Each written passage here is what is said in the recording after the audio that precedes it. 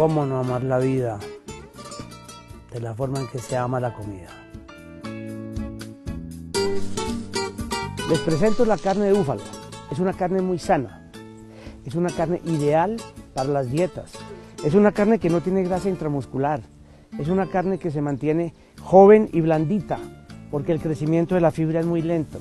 Cuando yo cocino una carne de búfalo siento algo especial, porque es una carne que me va a responder a lo que yo quiero preparar. Es una carne baja en grasa y hoy en día estamos consumiendo menos grasa. La carne de búfalo es la carne ideal para la familia colombiana.